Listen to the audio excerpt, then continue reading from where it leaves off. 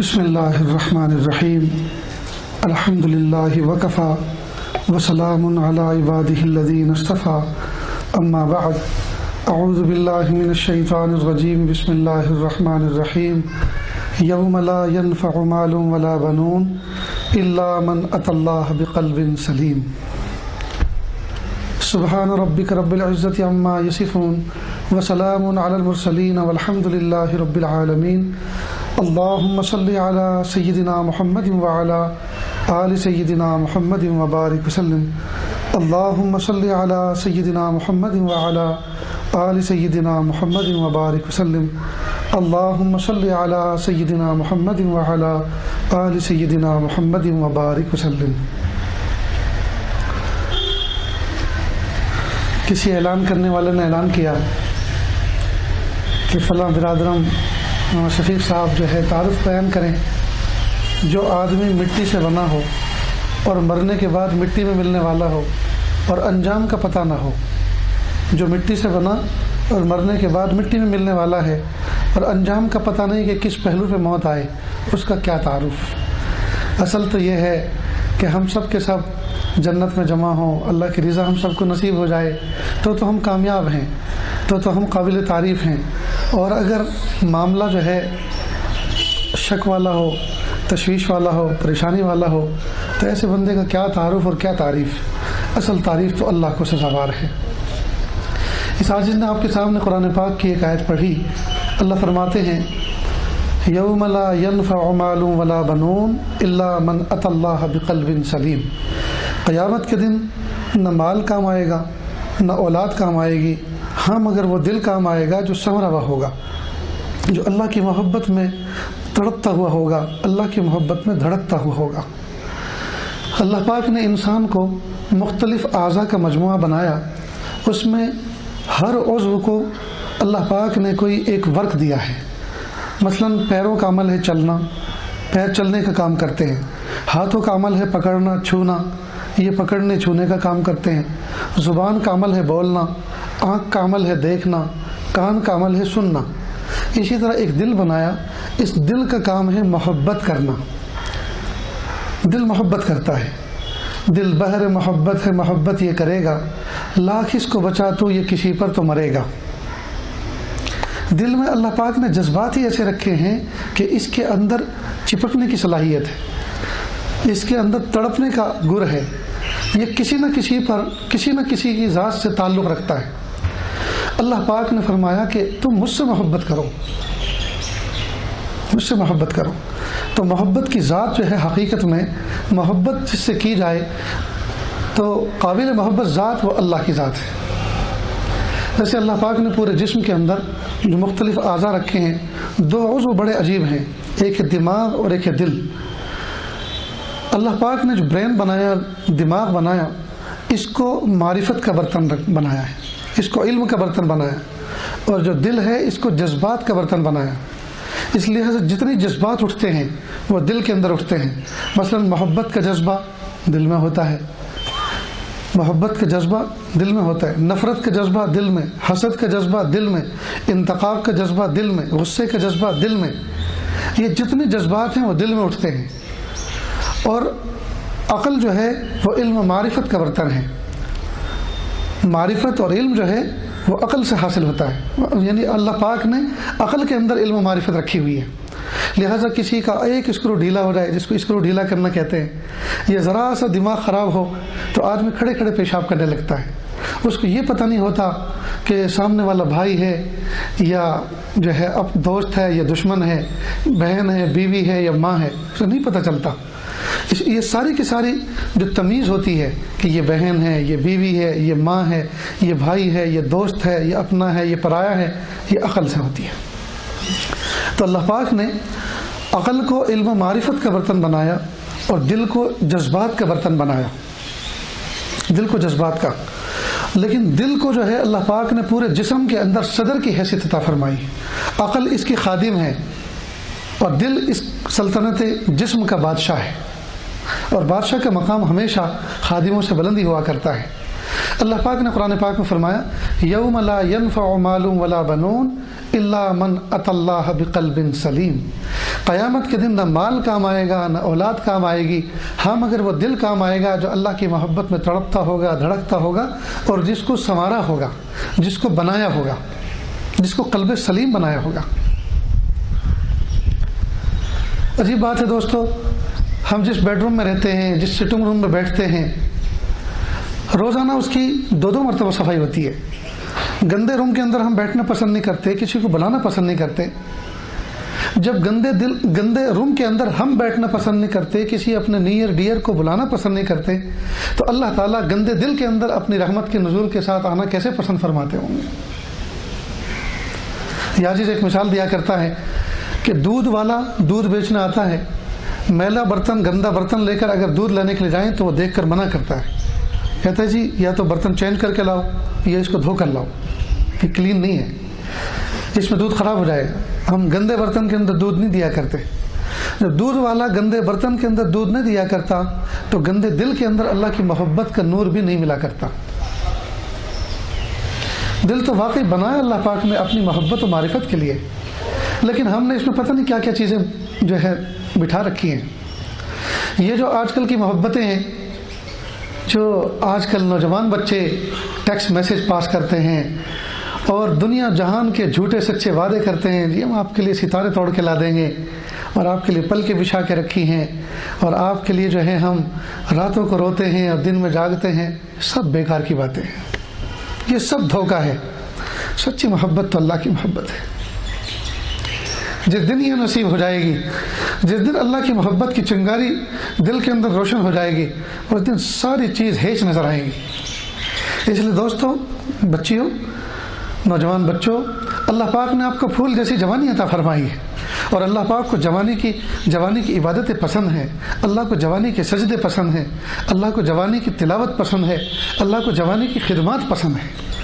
अल्लाह पाक ने आपको ज़िंदगी का कीमती और प्राइम टाइम अता फरमाया है।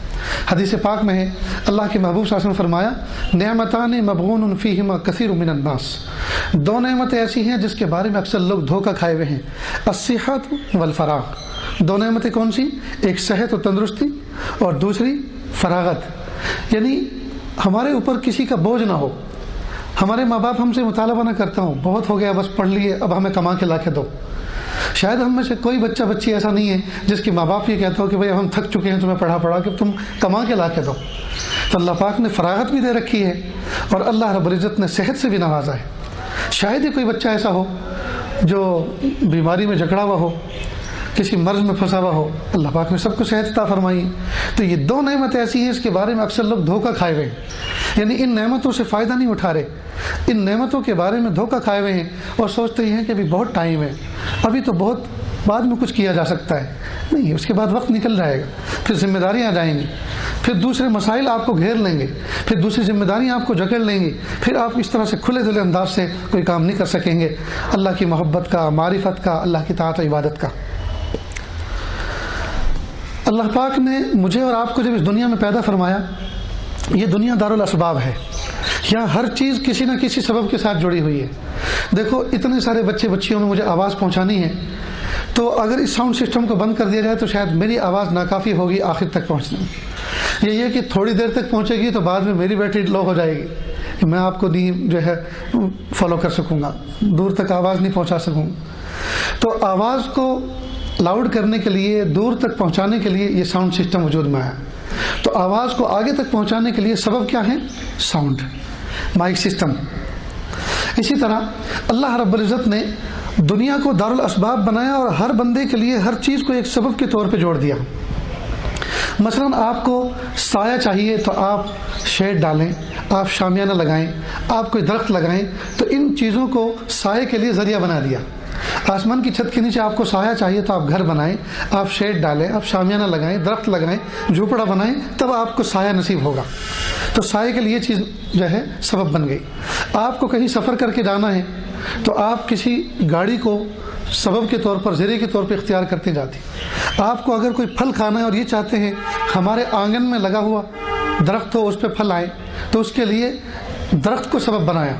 कि आप नर्सरी जाएँ, एक पौधा लेकर आएँ आप गढ़ा खोदें, पौधा लगाएँ फर्टिलाइज़र का ख्याल रखें खाद पानी का ख्याल रखें, तीन साल के बाद वो फल देना शुरू कर देगा।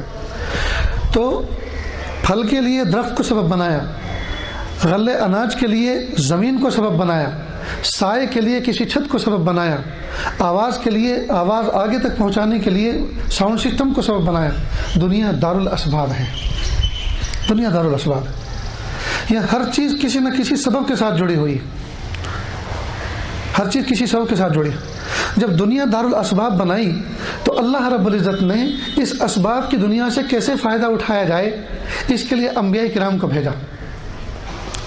अम्बिया किराम ने दो काम किए। एक तो मखलूक को खालिक के साथ जोड़ा, दूसरा मखलूक का तारुफ कराया। लिहाजा आप तारीख उठा के देखें अम्बिया किराम की। जब अम्बिया किराम शुरू शुरू में आते थे तो जहाँ वो तात और इबादत का इल्म लेकर आते थे कि बंदे बंदगी करें, अल्लाह की इबादत करें साथ साथ वो फ़िज़िकल लाइफ की भी कुछ ना कुछ चीज़ें लेकर आते थे। मसलन, एक नबी सुई धागे की तालीम लेकर आए कि कपड़े कैसे सिए जाते हैं, कपड़ों को कैसे जोड़ा जाता है। एक नबी ये तालीम लेकर आए। एक नबी ये तालीम लेकर आए कि दिल की बात को कागज़ पर किस तरह से ट्रांसफ़र किया जाता है, कैसे लिखा जाता है। लिहाजा वो कलम दवात की तालीम लेकर आए। एक नबी इस बात की तालीम लेकर आए कि ज़मीन को कैसे जोता जाता है, सीड डालने के लिए, फ़ार्मिंग करने के लिए, खेती करने के लिए, किस तरह से ज़मीन को जोता जाता है, कैसे उसको हमवार किया जाता है। तो ज़मीन में बीज कैसे डाला जाता है, खेती कैसे जाती, की जाती है, वो इसकी तालीम लेकर आए। फिर एक नबी इस बात की तालीम लेकर आए कि इंसान अगर आपस में फाइट करें, लड़ाई करें तो एक दूसरे से अपने आप को किस तरह से रोका जाए डिफेंस किया जाए तो ज़ीरा की तालीम लेकर आए, हज़रत दाऊद सलाम। गर्ज ये कि अम्बिया के नाम जहाँ वो अल्लाह ताला की ज़ात के साथ जोड़ने वाला इल्म लेकर आते थे और इबादत और ताज सिखाते थे साथ साथ फ़िज़िकल लाइफ की चीज़ें भी बताते थे। फ़िज़िकल लाइफ की चीज़ें भी बताते थे। मालूम हुआ कि दुनिया के अंदर रहकर इस दुनिया से फ़ायदा उठाना और इस दुनिया से को फ़ायदा बनाना, ये कोई मुजिर बात नहीं है और ये मज़हब से कोई अलग चीज़ नहीं है। बल्कि जब इस दुनिया में रहते हैं तो इस दुनिया में रहने के जो आदाब हैं, तरीक़े हैं, जो वसाइल हैं, ज़राए हैं, उनको इस्तेमाल करना होगा। अल्लाह के नबी सल्लल्लाहु अलैहि वसल्लम के पास कुछ सहाबी आए और आने के बाद अलग सलेक हुआ, सलाम हुआ, पूछा कि कैसे आए? का सवारी लेकर आए? ऊँट। का वो तो नज़र नहीं आ रहा, कहाँ है? का उसको हमने छोड़ दिया अल्लाह के तवक्ल पर। का ऐसा मत करो, उसको पकड़ो, उसको किसी खूंटे से बांधो और फिर अल्लाह की ज़ात पे भरोसा करो। अगर आप उसको नहीं बांधेंगे तो वो पूरी दुनिया में घूमता फिरेगा, चरता फिरेगा, ज़िंदा रहेगा। वो अल्लाह ही की हिफाजत में रहेगा, लेकिन आपको ढूँढने से भी नहीं मिलेगा। आप परेशान हो जाओगे। तो तवक्ल का मतलब ये नहीं है कि आप जो है, इस तरह का तवक्ल करें। ये तवक्ल नहीं, ये तातुल है। बेकारी है। तवक्ल का मतलब ये कि इसबाब को इख्तियार करो और इसबाब को इख्तियार करने के बाद नज़र मुसबिल इसबाब पर रखो। ये है तवक्ल इसबाब इख्तियार करें और इसबाब को फिर मौसर न समझें। मिसाल के तौर पर कई दफ़ा ऐसा होता है, कई फ़ंक्शन में साउंड सिस्टम लगाया जाता है, उसको चेक भी कर लिया जाता है। जी और सब कुछ बिल्कुल ओके होता है। जब अहम प्रोग्राम होता है, उसी वक्त जो है साउंड सिस्टम फेल हो जाता है। अब वो स्विच देख रहा है लाइट देख रहा है और प्लग देख रहा है बार बार उसको डाल रहा है, निकाल रहा है, सब कुछ कर रहे हैं। और समझ नहीं आती कि ये क्या। और जहाँ बयान ख़त्म हुआ, अहम प्रोग्राम ख़त्म हुआ, फिर चालू हो जाता है। ये क्या है? ये सब मिन जानबिल्ला हुआ करता है। कई मतलब इसबाब के अतबार से बिल्कुल ओके। सब कुछ बिल्कुल ठीक। लेकिन कोई ना कोई ऐसी चीज़ पेश आ जाती है जिसकी वजह से फेल हो जाता है। इसलिए हज़रत अली रज़ी अल्लाह ने फरमाया अरफ तो रबी विफ़ल अज़ाइम। मैंने अपने रब को पहचाना इरादों के टूट जाने से। मैंने अपने रब को पहचाना, इरादों के टूट जाने से। का क्या मतलब? भाई, हमने सुबह इरादा किया कि हमें जम्मू जाना है। गाड़ी मौजूद, डीजल मौजूद, जेब में पैसे मौजूद, दिल में इरादा मौजूद, बैग पूरा तैयार कर लिया, साथी भी तैयार, सब कुछ तैयार है। लेकिन कोई हादसा हो गया, कोई घर के अंदर कोई मामला बन गया फेल हो गया। तो ये करने वाला कौन है? का ये अल्लाह है। अरफ तो रबी बेफसल अज़ाइम। मैंने अपने रब को पहचाना इरादों के टूट जाने से कि हम इरादे करते हैं और कोई ज़ात चाहती है कि इस वक्त ये काम ना हो। तो जो चार ज़ात ये चाहती है, जी, इसका मतलब ये कि वो रब है। वही तो हमारा पालनहार है, वही तो अल्लाह है। जी, जिसके कब्ज़े कुदरत में हमारी जान है और ये पूरी की पूरी कायनात है। गर्ज यह कि अम्बिया के नाम आए और उन्होंने जहाँ मखलूक को खालिक से जोड़ा, उन्होंने मखलूक से फ़ायदा उठाने के इसबाब वसाइल भी बताए। ये जो आप इल्म हासिल कर रहे हैं, ये मखलूक से फ़ायदा उठाने का इल्म है। ये इल्म जो आप हासिल कर रहे हैं, ये मखलूक से फ़ायदा कैसे उठाया जाए, ये उसका इल्म है। और इसकी सनद अगर देखी जाए, इसकी सनद तो इसका अगर शजर नसब देखा जाए तो लंदन और अमेरिका तक पहुँचता है। लेकिन एक इल्म इसके अलावा है, वो है इल्म नबूवत।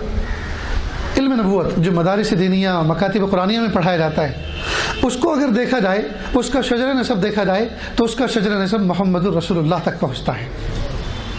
तो एक इल्म वो है, जिसका शजर नसब लंदन और अमेरिका तक पहुँचता है। एक इल्म वो है, जिसका शजर नसब मोहम्मद रसूलुल्लाह तक पहुँचता है। और दोनों हमें हासिल करने हैं। दोनों हमें हासिल करने हमें अपनी फ़िज़िकल लाइफ को अच्छा बनाने के लिए, ज़ाहिरी ज़िंदगी को अच्छा करने के लिए, अल्लाह की नेमतों से फ़ायदा उठाने के लिए, हमें इन नेमतों में रहते हुए अल्लाह को याद करने के लिए इन उलूम की ज़रूरत है, जिनको असरी उलूम कहा जाता है, जो कॉलेज और यूनिवर्सिटी में पढ़ाए जाते हैं और जिसके आप तालब इल्म हैं। लेकिन ये उलूम उस वक्त तक काम आएँगे जब तक हम इस दुनिया में हैं, इस अर्थ के ऊपर हैं, इस प्लेनेट के ऊपर हैं। लेकिन हमारी पूरी की पूरी ज़िंदगी इसी अर्थ पर यानी हम, जो अल्लाह पाक ने हमें ज़िंदगी दी है, ज़िंदगी का एक हिस्सा तो वो है जो हमारा इसमें, दुनिया में गुजर रहा है, लेकिन एक अबदुल आबाद की ज़िंदगी है। अबदुल आबाद हमेशा हमेश की ज़िंदगी है, जिसमें मंदी और खैर खैर और मंदी के ज़रिए से बंदा जन्नत में जाएगा, और बदबख्ती और शकावत के ज़रिए से बंदा जहन्नम में जाएगा। एक वो दुनिया है, वहाँ अबदुल आबाद की ज़िंदगी है। उस अबदुल आबाद की ज़िंदगी से भी हमें फ़ायदा उठाना है और हमें वहाँ भी जाना है और वहाँ जाने के लिए भी हमें कुछ यहीं पर करना है। वहाँ जाने के लिए भी हमें कुछ यहीं पे करना है। इसी दुनिया में दो काम करने का अल्लाह पाक ने हमें चांस अता फरमाया। दुनिया में रहने के लिए आप दुनियावी नेमतों को हासिल करें और मुझे पहचानें। उसके लिए जितनी कोशिश करनी हो करो। लेकिन यहाँ तुम्हें हमेशा रहना नहीं है। आर्जी तौर पर यहाँ आए हैं और सिंगल वीज़ा है। डबल एंट्री किसी को नहीं मिली। डबल एंट्री नहीं मिली। सिवाय हज़रत ईसा के, कि वो आएँगे, फिर जाएँगे। मल्टीपल वीज़ा उन्हीं को मिला है दुनिया का। वरना सब सिंगल एंट्री पर आए, वापस जाएँगे, फिर कभी आना नहीं। तो हम दुनियावी ओलूम भी हासिल करें फ़िज़िकल ओलूम भी हासिल करें, और इसमें भी माहिर बने। इसलिए कि इस उम्मत को इनकी भी ज़रूरत है। इस उम्मत को बेहतरीन डॉक्टर की ज़रूरत है। इस उम्मत को बेहतरीन लॉयर की ज़रूरत है। इस उम्मत को बेहतरीन साइंसदानों की ज़रूरत है। इन तमाम चीज़ों की ज़रूरत है। लेकिन अज़ीज़ नौजवानों प्यारे नौजवानों, इन्हीं को अपनी ज़िंदगी की महराज मत समझ लेना। इसके बाद की दुनिया भी है, उसके लिए भी हमें बहुत कुछ करना है और इसी ज़िंदगी में रहते हुए करना है। और ये जो ओलूम है, इन ओलूम को अगर हम ज़रिया बना लें, आखिरत को राज़ी करने का तो भी बहुत अच्छा है। तो भी बहुत अच्छा है। अब यहाँ मैं ज़रा एक कन्फ्यूज़न को दूर करना चाहता हूँ और एक कंसेप्ट क्लियर करना चाहता हूँ। वो ये कि एक है दीन और एक है दुनिया। आम तौर पर हमारे जहनों के अंदर मफहम यह है कि दीन यानी नमाज़ पढ़ना, पाँच वक्त की नमाज़ पढ़ना, रमज़ान के रोज़े रखना, हज करना, उम्र करना, ज़क़़त देना, ये तो है दीन। तिलावत, ज़िक्र असकार ये है दीन। इसके अलावा घर बनाना, गाड़ी ख़रीदना, शादी ब्याह करना, बिज़नेस करना, ये सब जो है दुनिया है। ये सब दुनिया है। और कई मरतबा साथी लोग आपस में एक दूसरे को कहते हैं और ये गलती करते हैं। तुम यहाँ कब तक दुनिया के पीछे पड़ रहोगे? कुछ दिन का काम भी करो। क्यों? दीन का काम का मतलब यह है कि सिर्फ़ पाँच वक्त की नमाज़ पढ़ना, ज़िक्र उसकार करना, तिलावत करना, यानी इसमें वक्त गुजारो। आप किताबें उठा के देख लें। साहब कराम हर वक्त मस्जिद में बैठे हुए तिलावत और ज़िक्र उसकार करते हुए नमाज़ पढ़ते हुए नज़र नहीं आएँगे। साहबा कोई फार्मर था, किसान था खेती बाड़ी करता था, कोई बिजनेसमैन था जी? उनके यहाँ निकाह भी होते थे। उनके यहाँ मौत मैत भी होती थी। वो सफ़र भी करते थे, वो क़याम भी करते थे, वो खेती बाड़ी भी करते थे, शादी ब्याह भी करते थे। यानी जो कुछ हम कर रहे हैं, वो सब कुछ वो भी करते थे। लेकिन वो फिर भी सहाबी थे। फिर भी उनका मरतबा इतना बुलंद है, उम्मत में इतना मरतबा किसी का बुलंद हो नहीं सकता। यहाँ एक चीज़ को समझने की ज़रूरत है। बुजुर्गान दीन ने दुनिया की तारीफ़ लिखी है कि दुनिया कहते किसे हैं? अरबी ज़ुबान में है, मा यम नाओ का अनिल हक फ़हुआ दुनिया। हर वो चीज़ जो आपको अल्लाह की याद से गाफिल कर दे, वो दुनिया है। हर वो चीज़ जो आपको याद इलाही से गाफिल कर दे, वो दुनिया है। इसका मतलब उल्टा ये निकला, हर वो चीज़ जो अल्लाह की ज़ात से आपको वाबस्ता कर दे, वो दीन है। हर वो चीज़ जो याद इलाही से आपको जोड़ दे, वो दीन है। लिहाजा, याद इलाही से वाबस्ता होने के लिए ज़रूरी है कि हमारा दिल आबाद रहे। हमारा दिल हर वक्त अल्लाह की तरफ़ मुतवजह रहे। तभी तो हम कामों के अंदर ये नीयत कर पाएँगे कि ये काम हम अल्लाह की रज़ा के लिए कर रहे हैं। अब ज़रा थोड़ा सा और इसको समझें। एक आदमी फजर की नमाज़ पढ़ता है और नमाज़ पढ़ने के बाद वो अल्लाह से दुआ करता है, दुआ करके अपने घर में आता है। और घर में आने के बाद अपने बीवी बच्चों के साथ, माँ बहनों के साथ बैठ के वो ब्रेकफास्ट करता है, नाश्ता करता है। नाश्ते के बाद वो अब घर से निकलता है, वालिदा को कहता, अम्मा, अल्लाह हाफिज़। दादी, अम्मा, अल्लाह हाफिज़, मैं जा रहा हूँ। अस्सलाम अच्छा बेटा, जाओ। अल्लाह के हवाले अब वो घर से निकलता है और बाज़ार में जाकर किसी रेड़े पर केले, सब्ज़ी रख कर जो है, अब गली गली कुचे कुचे आवाज़ लगाता है, सब्ज़ी ले लो, सब्ज़ी। केले ले लो, केले। अब ये जो सदा लगा रहा है ना, सब्ज़ी ले लो, सब्ज़ी, केले ले लो, केले, इसको इस सदा लगाने पर अल्लाह पाक इस तरह से अजर अता फरमाएँगे, जिस तरह मस्जिद में बैठने वाले शख्स को सुबहान अल्लाह अल्हम्दुलिल्लाह की तस्वीर पढ़ने पर अजर अता फरमाते हैं। क्यों अता फरमाएँगे इसको समझें? जिस तरह अल्लाह पाक ने तस्वीर पढ़ने, इबादत करने का हुक्म दिया है, इसी तरह अल्लाह पाक ने रिस्क हलाल कमाने का भी हुक्म दिया है। तो हुक्म हुक्म में दोनों बराबर। ऑर्डर नमाज़ का भी है, ऑर्डर रिस्क हलाल का भी है। नमाज़ के ऑर्डर को हमने इबादत समझा, लेकिन रिस्क हलाल कमाने के ऑर्डर को हमने इबादत नहीं समझा, उसको दुनिया समझाए। इस थिंक पॉइंट को बदलने की ज़रूरत है। लिहाजा जब भी हम कोई काम करें, उसमें हम नीयत दुरुस्त करें और नीयत को दुरुस्त करने के बाद उसमें अल्लाह की रज़ा, अल्लाह की मोहब्बत शामिल करें। तो फिर जितने हम फ़िज़िकल काम जायज़ करते हैं, फिर कोई भी दुनिया नहीं रहेगा, सारे के सारे दिन बन जाएँगे। मिसाल के तौर पर आप दुकान पर गए कमाने के लिए। आपने बिस्मिल्लाह पढ़ के जब शटर खोला तो नीयत ये हो, प्यारे अल्लाह, मैं आपका हुक्म पूरा करने के लिए आया हूँ। क्या हुक्म? कि रिश्क हलाल कमाओ। वरना यह भी हो सकता था, मैं जाता और लोगों को लूटता, चोरी करता, बैंकों में डाके डालता। तो यही कमाई जो है, मैं उस रास्ते से करता तो ये हराम होती। कि अल्लाह आपने हलाल कमाने, कमाई कमाने का हुक्म दिया है। इसलिए मैंने ये दुकान डाली है। इस, इसलिए मैंने ये शॉप डाली है। इसलिए मैंने ये कारखाना ज्वाइन किया है। इसलिए मैंने ये जॉब ज्वाइन किया है। तो शॉप पे जाना, जॉब पे जाना, रिस्क हलाल कमाने की नीयत से ये इबादत बन जाता है। लेकिन अगर नीयत ये ना हो तो फिर ये हराम है। इसी तरह और बहुत सारी चीज़ें ऐसी हैं जिनको अगर हम ज़िंदगी में अपनाएँ ज़िंदगी में लाएँ तो हमारी ज़िंदगी में आपको फिर गौर करेंगे तो पता चलेगा कि वाकई दुनिया तो कुछ भी नहीं है सराप हमारी ज़िंदगी दीन ही दीन है। मिसाल के तौर पर, नौजवान बच्चे सुबह सुबह एक्सरसाइज करते हैं। बहुत सौ के घरों में ट्रेडमिल रखी हुई है। बहुत से जो है वो किसी कैनाल के किनारे पर, या रोड के किनारे पर जॉगिंग करते हैं। अब ये जो एक्सरसाइज करते हैं, दौड़ते हैं अब इसमें नीयत उनकी कुछ नहीं होती। और कई मरतबा नीयत हराम होती है। हराम नीयत है कि हमें कोई देख ले, हम पे कोई फिदा हो जाए। ये हराम नीयत है। ये हराम नीयत लेकिन अगर नीयत ये करे, प्यारे अल्लाह, ये मैं एक्सरसाइज इसलिए कर रहा हूँ कि सेहतमंद मोमिन, कवी मोमिन आपके नज़दीक फजीलत वाला है, कमज़ोर मोमिन के मुकाबले में तो मैं एक सेहतमंद मोमिन बनना चाहता हूँ। इसलिए एक्सरसाइज कर रहा हूँ। अब इस नीयत पर आपको अजर मिलेगा अल्लाह की तरफ़ से। दूसरी नीयत अल्लाह एक्सरसाइज इसलिए कर रहा हूँ, जब मैं कभी हज पे जाऊँगा तो मैं पैदल हज करूँगा। कि मक्का मुकरमा से मीना मीना से अरफात अरफात से मुजदलिफा मुजदलिफा से मीना मीना से मक्का। ये हज के जो पाँच दिन हैं, वैसे तो पूरी दुनिया से शायद ही पैदल हज बंद हो चुके हैं इंटरनेशनल कानून बन चुके हैं, जो है सिक्योरिटी का मसला होता है।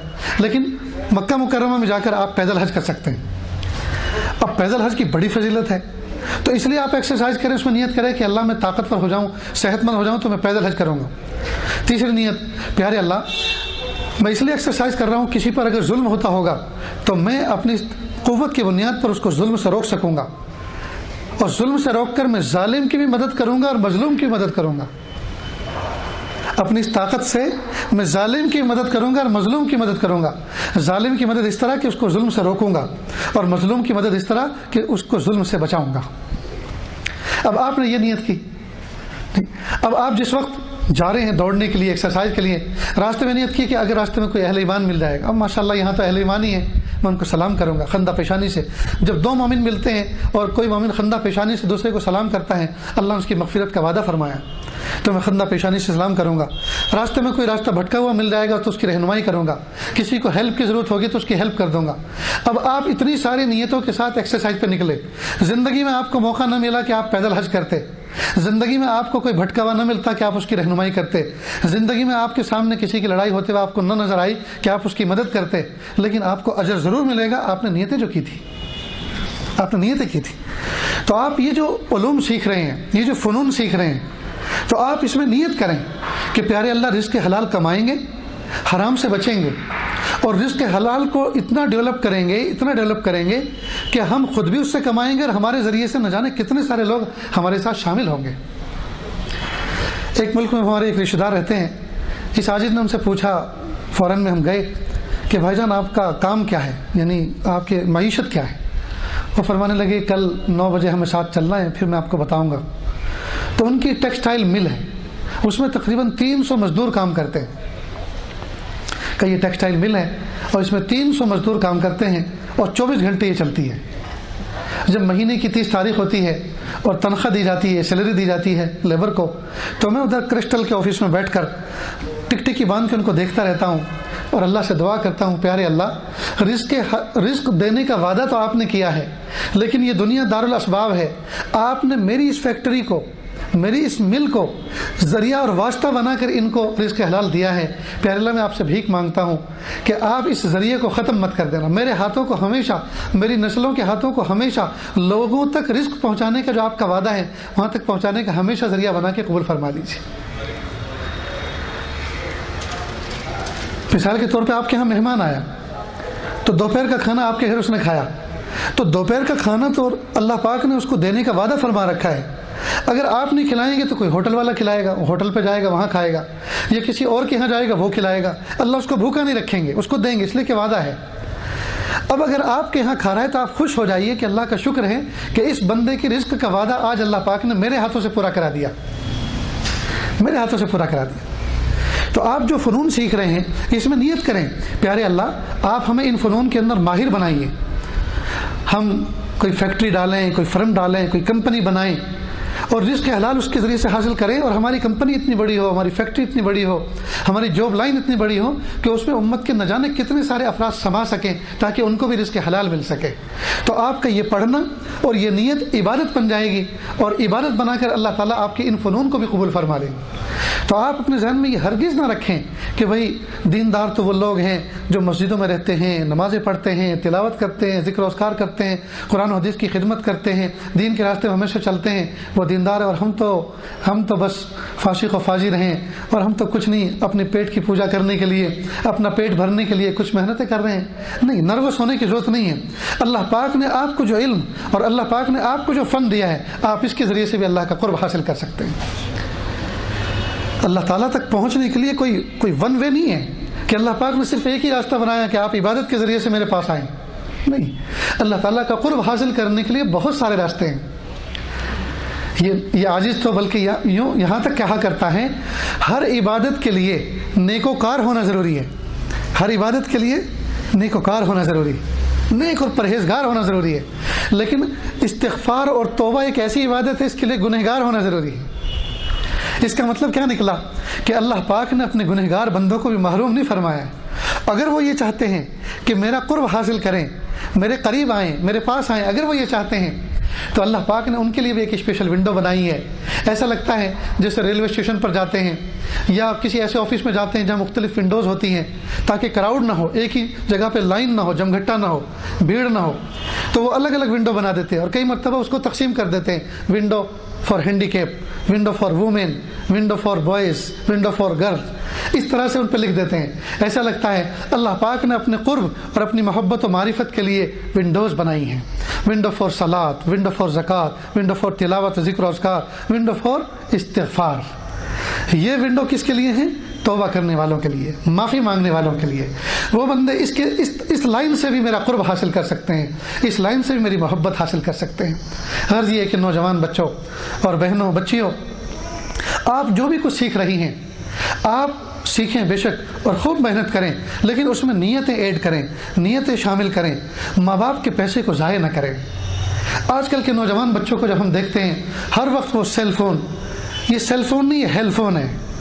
इसने हम, हमें जहन्नम की तरफ़ जाना हमारे लिए आसान कर दिया है।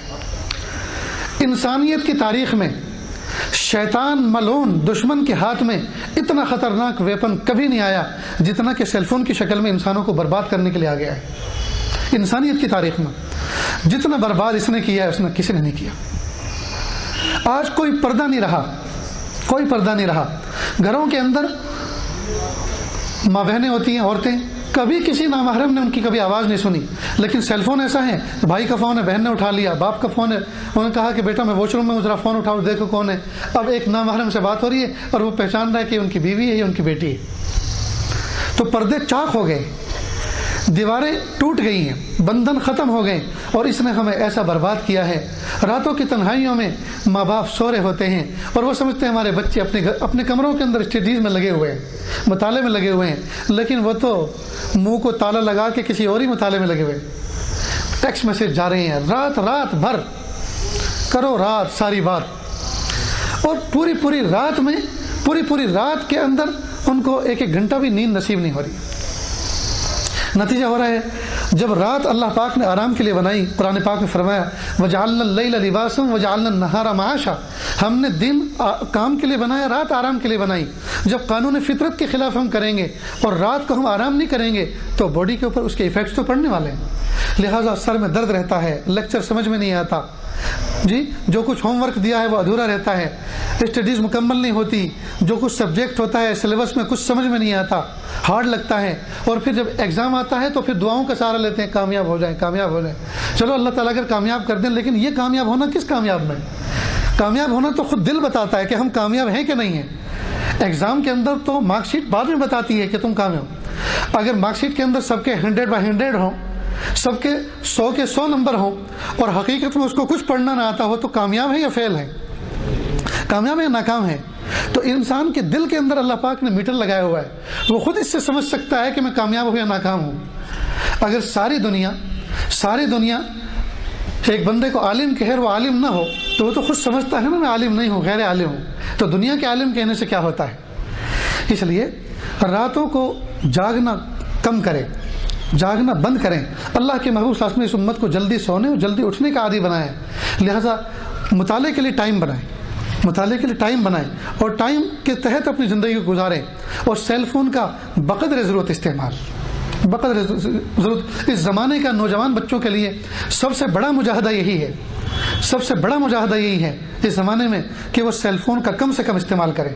जो बच्चे कम से कम सेलफोन का इस्तेमाल करते हैं, उनकी सोच बुलंद होती है, उनकी फ़िक्रें बुलंद होती है, उनका दिल तरोताज़ा रहता है, वरना हर वक्त। और आजकल तो बर्बाद करने के लिए व्हाट्सएप टेंगो डेंगो और वाइबर फाइबर न जाने दुनिया जहान की एप्लीकेशन ईजाद हो चुकी है। और सब लौट करके रखी हुई हैं और सारी दुनिया देख रही है। बाप को पता चल रहा है कि बेटी इस वक्त जाग रही है ऑनलाइन है। बाप को पता चल रहा है, मेरा बेटा तो तीन बजे भी ऑनलाइन है। अल्लाह अकबर कबीरा, अल्लाह अकबर। कितनी बुरी बात है दोस्तों।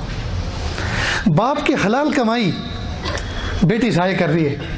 बाप की हलाल कमाई बेटा ज़ाय कर रहे हैं। नौजवान बच्चों, आपको पता नहीं होता, आपकी स्कूल की फ़ीस कई मरतबा बाप कर्ज लेकर आता है। और आपको पता भी नहीं होने देता, किसी के पास जाता है। भाई इस इस सीज़न पर, इस मौसम पर जो फल आएँगे या जो बिज़नेस होगा, मैं आपको कर्ज चुका दूँगा। इस वक्त मैं दाने दाने का मोहताज हूँ। घर में बहुत ही ज़्यादा तंगी है। बच्चे की स्कूल की फ़ीस चुकानी है। उसको स्टेशनरी का सामान लाने के लिए भी पैसे नहीं हैं। प्लीज़ आप मुझे कुछ कर्ज दे दें। और बेटे और बेटियों को बाप पता भी नहीं होने देता। वो अकेला तनाई में हम खाता रहता है। वो सोचता है बच्चे कामयाब हो जाएँगे जॉब पे शॉप पे लग जाएँगे तो इन रिकवरी हो जाएगी, अदा हो जाएँगे। कई मरतबा तंग आकर सूद पे पैसे लेकर आते हैं। इसलिए अल्लाह के वास्ते माँ बाप की लाज रखें। बहुत से मुल्कों में साजिश का जाना हुआ, वहाँ हमने देखा कि स्टूडेंट साइड बिज़नेस करते हैं। यानी वो पार्ट टाइम दो दो तीन तीन घंटे का कोई जॉब ले लेते हैं। और उसके ज़रिए से जो कमाई आती है, वो बाप की हेल्प करते हैं। अबू कहते हैं अबू आप हमारी फ़िक्र न करें। आप बिल्कुल हमारी फ़िक्र न करें, हम खुद कर लेंगे जो बच्चे पंद्रह पंद्रह, बीस बीस साल कुछ नहीं करेंगे, सिर्फ़ बाप कमाई खाएँगे तो फिर उनकी हड्डियाँ ज़रा दूसरे अंदाज की हो जाती हैं। उनकी डेवलपमेंट जो है कुछ किसी और अंदाज की हो जाती है। फिर उनको बाप कमाई खाने की आदत पड़ जाती है। और जो बच्चे बचपन में कोशिश इस बात की करते नहीं, हमें अपने माँ बाप पे बोझ नहीं बनना। उनके चेहरे से एक नूर नज़र आता है। बम्बई में एक बुज़ुर्ग हैं, उनके पास एक नौजवान, एक बच्चा आया खिदमत के लिए। उन्होंने पूछा, बेटा, सच बताओ, मुझे आप पूरा मामूल, अपने पूरी ज़िंदगी का मामूल बताओ कि आप किस तरह वक्त गुजारते हैं? कहने लगे, अंकल, वो मसाज का माहिर था और वो बीमार थे जो बुज़ुर्ग थे, वो मसाज का माहिर था और तकरीबन बारह पंद्रह साल का बच्चा। उसने कुछ कोर्स किया हुआ था एक्यूपंचर का। तो कहा, अंकल, मैं सुबह ही न्यूज़पेपर लोगों के दरवाजे पर डालने जाता हूँ। क्योंकि मेरे बाप फोत हो चुके हैं, मेरी वालिदा अकेले घर में है तो मैं न्यूज़पेपर घर, लोगों के घरों पर दरवाज़ों पर डालने जाता हूँ। और ये मेरा काम आधा पौना घंटे में हो जाता है, इसलिए कि जो एरिया मुझे दिया गया है इतनी सप्लाई कर देता हूँ। उसके बाद मैं कुछ मेरे घर के करीब में कुछ ऐसा काम होता है कि कुछ चीज़ उठा के किसी जगह पार्सल पहुँचाने होते हैं। फिर मैं आधा घंटा वो काम करके आता हूँ और उस पर भी मुझे कुछ मिल जाता है। फिर मैं अपनी वालिदा के साथ किचन में खड़ा होकर उनकी हेल्प करता हूँ। उनकी हेल्प ये कि वो नाश्ता तैयार करती है और मैं बर्तन मांजता हूँ, बर्तन साफ़ करता हूँ। उसके बाद जब नाश्ता करके वालिदा के साथ फारिग हो जाता हूँ तो आखिर के बर्तन भी मैं ही साफ़ करता हूँ। गर्ज उसने कि चार पाँच चीज़ें ऐसी बताई, वो बुज़ुर्ग फरमाते मेरी आँखों से आँसू जारी हो गए। कि मुझे इस बात का एहसास हुआ कि छोटा सा बच्चा कितना सादतमंद है, जो अपने वालिद के फौत होने के बाद अपनी वालिदा की इतनी बड़ी हेल्प कर रहा है। तो जब बच्चे अपने माँ बाप की हेल्प करते हैं, उनके मुआविन मददगार होते हैं, उनके चेहरों से बरकतें नज़र आती हैं, उनकी पेशानियों पर नूर नज़र आता है और अल्लाह ताला उनको सादतमंद बंदों में शामिल फरमा देते हैं। आम तौर पर नौजवान बच्चों के पास वक्त ही वक्त है, जहाँ वो थोड़ा बहुत पढ़ कर आए और पढ़ने क्या जाते हैं, कई मरतबा गुंडागर्दी करने जाते हैं। आजकल बिल्कुल मैार ही अलग हो चुका, जिसके सीने के बटन खुले हुए हों आस्तीन जिसकी चढ़ी हुई हो, और उसकी निगाहें ज़रा दूसरे अंदाज की हों, उसको कहते हैं, ये बहुत जरी आदमी है, ये बड़ा बहादुर है, उसकी तारीफ़ें होती हैं। क्या करें हमें? रहने के लिए ऐसा मुल्क और ऐसा माहौल मिला है, जहाँ बेवसूली उसूल है, जहाँ जुल्म का नाम बहादुरी है। बेवसूली का नाम उसूल है, जी, बेइंसाफ़ी का नाम इंसाफ है किसी की इज़्ज़त को लूट लेना, किसी के इज़्ज़त पर हाथ चला देना, इसका नाम जो है शुजात और बहादुरी रख दिया गया है। नहीं दोस्त, सादत मंदी, नज़रें झुकी हुई हों, चेहरे पे आपके चाहे लताफत हो, नज़ाफत हो, और आपका जिस्म बता रहा हो, देखने वाला कहे, ये किसी नेक साले माँ बाप की औलाद जारी है। हमारी चाल बताती है, हमारा, हमारी हमारी लाइफ स्टाइल बताती है कि आजिज तो अपने शागिर्दों को, जो आने वाले मुतल उनको कहता है कि अगर आप लोग मेरे बारे में ये मशहूर न कर दो कि मैं साहिब कश हूँ तो मैं बता सकता हूँ कि जूते चप्पल जो निकलते हैं, उनकी स्टाइल को देख के बता सकता हूँ कि आपके अंदर क्या मर्ज है। जूते बताते हैं, एक साइलेंट लैंग्वेज होती है। जूते बताते हैं कि ये जूते पहनने वाला आदमी किस किस जौक का है। इसके निकालने की स्टाइल ये बताती है कि इसका मिजाज किस तरह का है। जिस तरह से डॉक्टर चेहरे के आसार को देखकर बता देते हैं कि बीमारी किस नौीयत की है? इसी तरह अल्लाह वालों को अल्लाह पाक ने एक फजल के साथ ये चीज़ दी हुई होती है, ये शोर दिया हुआ होता है कि उनको चूँकि तरबियत करनी होती है, अपने मुतलकिन की, मुरीदीन की, अपने शागिर्दों की तो उनकी तरबियत करते हैं। तो हम अपनी लाइफ स्टाइल बदलें, अपने अंदाज बदलें, शरीफाना शरीरों के ज़ुमरे से निकल कर शरीफों के ज़ुमरे में अपने आप को दाखिल करें, अपनी निगाहों को झुका हुआ रखें। जहाँ हमारी कोई बहन सामने नज़र आए तो हम उससे, वो हमसे अगर पर्दा ना करे तो हम उससे पर्दा कर लें। दिल का पर्दा, निगाहों का पर्दा, सोच का पर्दा, मुजाफत। बच्चियों से मैं दरख्वास्त करूँगा, बेटियों, चेहरे के ऊपर क्रीम पाउडर लगाने से चेहरे खूबसूरत नहीं हुआ करते, चेहरे वो खूबसूरत हुआ करते हैं जिसके ऊपर हया हो। सियाही और सुरमा लगाने से आँखें खूबसूरत नहीं हुआ करती, आँखें वो खूबसूरत होती हैं जिनके अंदर हया का काजल लगा हुआ हो। ऊँची हिल वाली सैंडल और जूती पहनने से शख्सियत ऊँची नहीं हुआ करती, शख्सियत ऊँची वो हुआ करती है जिसके अंदर बुलंद अखलाक हों। कद बुलंद अखलाक से ऊँचा हुआ करता है। आँखें हया की काजल लगाने से खूबसूरत हुआ करती हैं और चेहरे के ऊपर क्रीम पाउडर लगाने से चेहरा खूबसूरत नहीं हुआ करता, बल्कि इसके ऊपर अच्छे अखलाक का गाजा मलने से ये चेहरा खूबसूरत हुआ करता है। हम अपनी इज्जतों को सौदा ना करें। हम अपने किरदार का सौदा ना करें। हम इंसान होने के साथ साथ, अशरफुल मखलूक होने के साथ साथ हम अहल ईमान हैं। मोमिन जिससे दूसरा अमन में रहे, इस्लाम और ईमान, ये वर्ड ही बताते हैं कि इस्लाम में सलामती है और ईमान में अमन है। हमारी ज़ात से हमारा पड़ोसी अमन में ना रहे, नौजवान बच्चे से कोई बहन सलामत ना रहे, नौजवान बहन से कोई भाई सलामत ना रहे, इसका मतलब यह कि हमें हकीकत इस्लाम नसीब नहीं हुई, हकीकत ईमान नसीब नहीं हुई। हम बुलंद अखलाक के मालिक बने, बुलंद किरदार के मालिक बने और हम अल्लाह की ज़ात के साथ में एक अपना ताल्लुक़ कायम करें, मोहब्बत की सारी एनर्जी अल्लाह की ज़ात के साथ वाबस्ता करें। एक नौजवान बच्चा किसी अल्लाह के वली से वैद हुआ। फ़ोन किया किसी लड़की ने, कोई गर्लफ्रेंड थी उसकी। कहा, हेलो? जी, क्या हाल है? कहा, आप किससे बात कर रही हैं? तो कहा, क्या आप मुझे पहचानते नहीं हो? कि आपने किस जगह फ़ोन लगाया? तो कहा कि मैंने आपको लगाया। कहा, वो तो अब मर चुका है। कहा, अब वो मर चुका है। अल्लाह के वास्ते अब इस नंबर पे कभी फ़ोन मत करना। अब वो उसका बातिन का इंसान जी चुका है, उसका ज़ाहिर का इंसान मर चुका है। अब वो कोई और होगा जिससे आप बात करती होंगी। अब उसने तोबा कर लिया उसका इंतकाल हो चुका है। प्लीज़ आइंदा, अब दोबारा इस फ़ोन पे फ़ोन मत करना। अल्लाह अकबर कभी इस सेलफोन के ज़रिए से नौजवान बच्चे बच्चियों ने अपने रबते करके अपने दिलों की दुनिया को उजाड़ दिया है। माँ बाप कोई और रिश्ता ढूंढ के रखते हैं, इनके दिलो दिमाग में कुछ और फैसले होते हैं। कई मरतबा खड़े माँ बाप को जलील और रसुआ कर देते हैं। जिस दिन निकाह होने वाला होता है, उसी दिन कोई मामला बन जाता है। फला फला के साथ फरार फला फला के साथ कोई मामला हो चुका।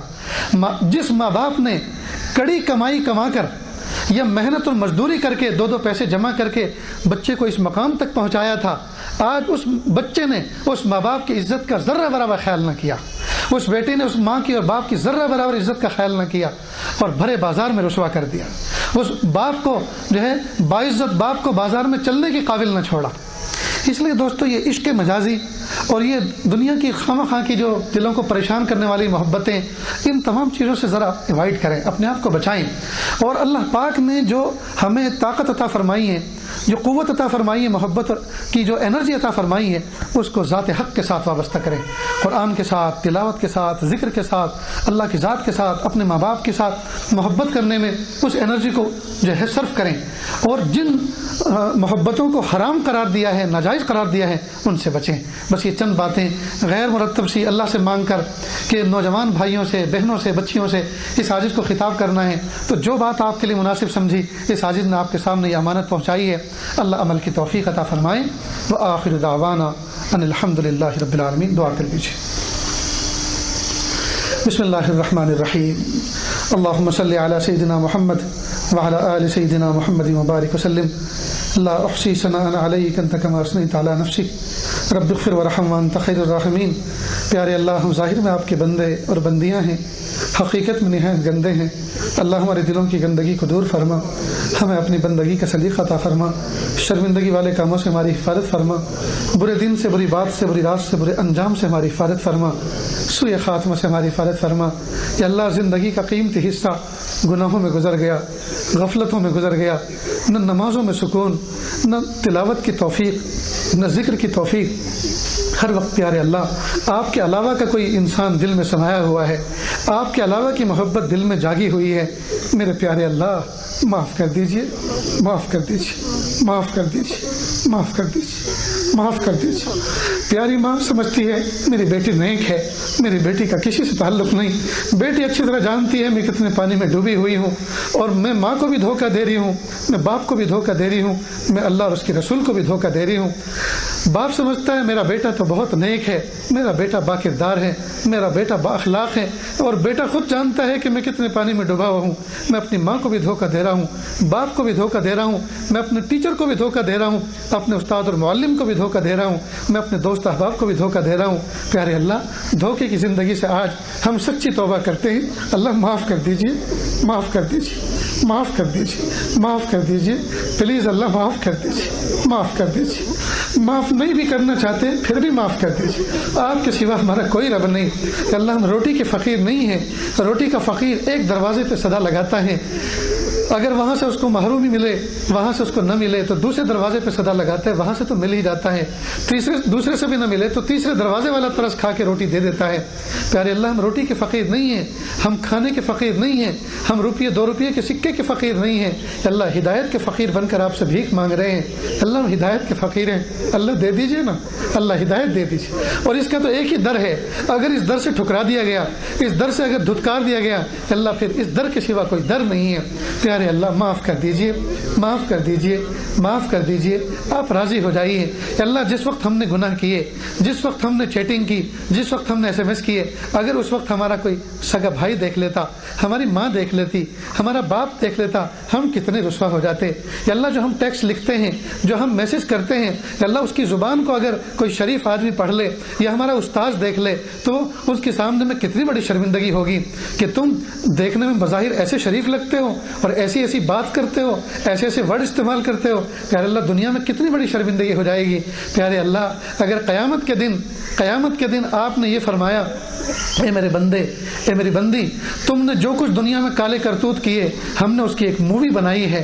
तुम इस बात को पसंद करते हो, इस मूवी को हम अभी दिखा दें और सारी की सारी कायनात और मखलूक इसको देख ले, या इस बात को पसंद करते हो कि जहन्नम में चले जाओ। तो प्यारे अल्लाह, शायद हम सब के सब यही कहेंगे, नहीं अल्लाह, प्लीज़ रहने दीजिए हम जहन्नम में चले जाते हैं, लेकिन उस मूवी को ओपन न करें, उस सिक्रेट को ओपन न करें। वक्त के नबी देखेंगे तो शर्मिंदा हो जाएँगे। हमारी माँ देखेगी, बाप देखेगा, भाई और बहन देखेंगे, उस्ताद और मुअल्लिम देखेंगे, दोस्त और अहबाब देखेंगे, शोहर और बीवी देखेंगे। प्यारे अल्लाह, ये सब के सब अगर देखेंगे तो हम मुझे बहुत बड़ी रसवाई और शर्मिंदगी हो जाएगी। प्यारे अल्लाह, जहन्नम में जाना मुझे गवारा है, लेकिन ये रसवाई गवारा नहीं है अल्लाह जब हम आखिरत की रसवाई बर्दाश्त नहीं कर सकते कि अल्लाह दुनिया में हम फिर ये काम क्यों कर रहे हैं? अल्लाह आप हमें तोफीक दे दीजिए। हम ये गंदे कामों से बच जाएँ। हम बुरे कामों से महफूज हो जाएँ। हम अपने माँ बाप की आँखों का तारा बन के ज़िंदगी गुजारें। उनके दिल का सुकून बन के ज़िंदगी गुजारें। माँ बाप के कॉन्फिडेंस और अहतमाद को कभी ठेस न पहुंचाएँ। कि अल्लाह हमें ऐसा बना दीजिए।